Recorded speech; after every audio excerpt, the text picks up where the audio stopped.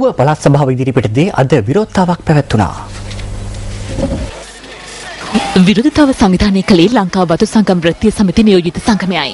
පසුගිය 15 වෙනිදා සැක කටයුතු ලෙස මියගිය බතුල්ල කැන්දගොල්ල තෙල්බද්ද වතුයායේ ප්‍රධාන ශේෂ්ඨ නිලධාරී ආනන්ද ජයසුන්දර මහතාගේ මරණය පිළිබඳ සාධාරණ පරීක්ෂණයක් සිදු කරන ලෙස පොලිසියට බල කරමින් එය පැවැතුණා.